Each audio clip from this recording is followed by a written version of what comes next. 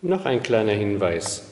Sollte ein Schwert, wie in diesem Fall, Flugrost angesetzt haben, zu lange nicht benutzt, zu wenig eingeölt, die Japaner haben ein Radiergummi dafür, ein Rostradiergummi.